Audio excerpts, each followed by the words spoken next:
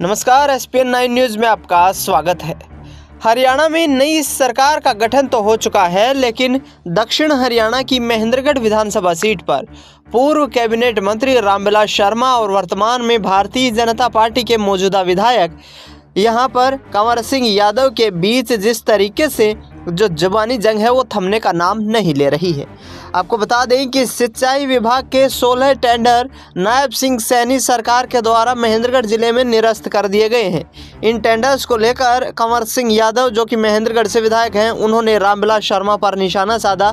तो रामविलास शर्मा ने कहा कि यदि मैं ना होता तो कंवर सिंह कहाँ से आता? यानी कि साफ़ तौर पर उनका कहना है कि उनके सहयोग से ही कंवर सिंह महेंद्रगढ़ के विधायक बनने में कामयाब हुए हैं। आपको बता दें कि जिस तरीके से यहाँ पर जिस तरीके का माहौल देखने को मिल रहा है, राजनीतिक समीकरण जो बन रहे हैं, वो वाकई दोनों नेताओं के बीच यहाँ पर ज़बरदस्त तरीके से टकराव वाले हैं। दोनों एक दूसरे पर तिलख तेवर और तल्ख टिप्पणियाँ देते हुए नज़र आ रहे हैं।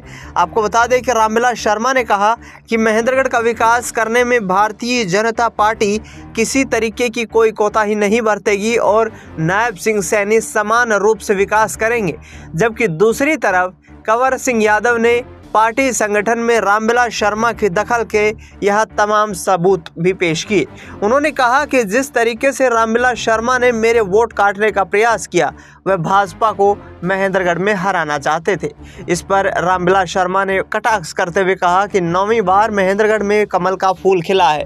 भारतीय जनता पार्टी के लिए महेंद्रगढ़ छावनी है और महेंद्रगढ़ की जनता कभी भी भारतीय जनता पार्टी के साथ विश्वासघात नहीं कर सकती है। आपको बता दें कि शर्मा।